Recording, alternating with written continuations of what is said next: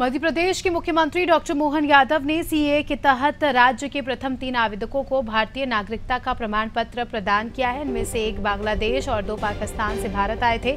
CM ने पाकिस्तान से समीर सेलवानी, संजना शेरवानी और बांग्लादेश से राशि दास को नागरिकता का प्रमाण पत्र सौंपा है। इस मौके पर सीएम ने कहा कि सीए के तहत तीन लोगों को नागरिकता दी गई है और खुशी है कि वे अपना धर्म बचाने के लिए भारत आए हैं।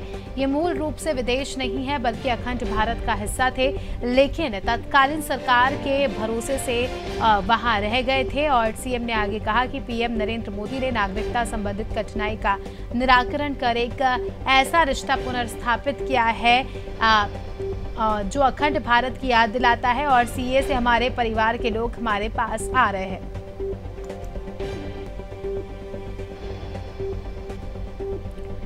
तो सीए को लेकर मुख्यमंत्री डॉक्टर मोहन यादव का बड़ा बयान सामने आया है। उन्होंने सबसे पहले तो जो नागरिक बाहर रह गए थे, जो मूल रूप से भारतीय थे, सबसे पहले उन्हें जो है भारत की नागरिकता दी। तस्वीरों में आप देख सकते हैं।